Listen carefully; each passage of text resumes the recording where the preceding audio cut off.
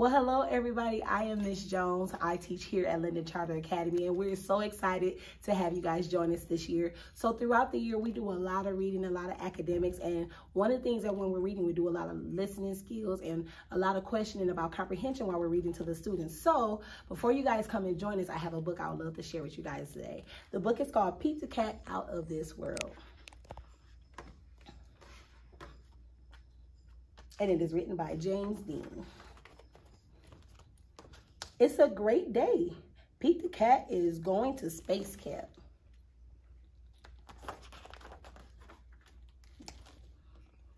Pete meets his bunkmate, Glenn. As they unpack, there is an announcement. Welcome, space campers. Please head to the classroom. Your mission begins now. Time to suit up, says Pete. He and Glenn put on their space uniforms and race to class. There are so many cool things to do and super neat stuff to see. Astronaut Tom and Chris talk about their trips they've taken, and they give a sneak peek at future space trips.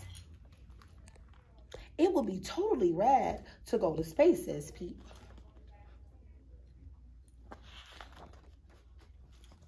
The campers find out what it feels like to be an astronaut. They go into zero gravity, into the zero gravity chamber. They ride in rovers, and they even build rockets. Pete's rockets flies very, very far. Way to go, Pete, shouts Glenn. Next stop is Mission Control. We have some exciting news, says Tom. Our next flight leaves today, and we're going to, to the moon, and we have room for more. Pete, do you want to go? asks Sally. That would be awesome, says Pete. It's time to buckle up and set up into the space castle. Five, four, three, two, one, lift off. So now they're getting ready to fly into space. Their space, excuse me, their ship speeds through the space, through space, and they blast past a satellite and even spot a comet. Tom and Sally have a rocking surprise for Pete. His guitar. He plays a groovy interstellar song for them. Mission Control listens in. In no time at all, they arrive on the moon. They are ready to explore. The, astronaut, the astronauts collect rocks and map out the moon's surface.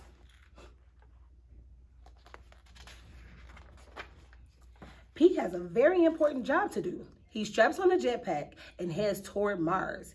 He takes tons of pictures. Oh no, Pete lost track of time and the moon is far, far away. He has to make it back to the ship before it blasts off. Hopefully he makes it back in time.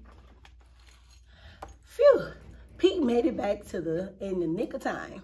The astronauts head home and there's time for a few more tunes. Pete sure knows how to make an entrance. Pete's trip to outer space was out of this world. Still, he's psyched to have his feet back on the solid ground. Rock on, Pete. And that was our book for today. So we are looking forward to you guys and we will see you all soon. Bye.